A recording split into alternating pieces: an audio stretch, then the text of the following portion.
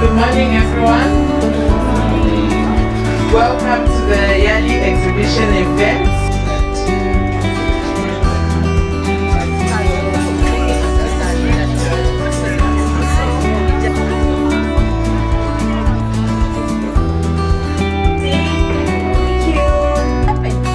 And then people say, but no, there's no support.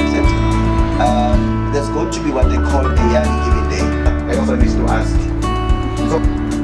So, so just over 60 years, Africa has been trying to develop. officer. organization I found in Create a Life Initiative. When Yali was uh, conceptualized from a USAID perspective, they did not anticipate the kind of powerful movement they were going to create. And so, in the beginning, um, and I'm speaking specifically as a, as a curriculum manager because I play both roles of curriculum and alumni relations manager. Uh, I, people used to write to me and say to me, but this course is too simple, I've got a PhD. But we're not saying what can that fund. It's to find out some support to earlier members.